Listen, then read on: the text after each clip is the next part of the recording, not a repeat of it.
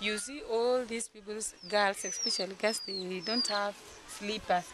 So the club have decided to buy a pair of slippers so that they use use it uh, when they are entering inside there instead of just stepping on the floor. Ah, So we have slippers there. I see that. I saw the slippers. there. So they were bought by the club. Yes. Oh, good. They can use in that. They, Because not all children have shoes. they, they don't have shoes. So instead of stepping just on that floor, So everyone they just use the stand up and- slippers. Oh, that's very creative.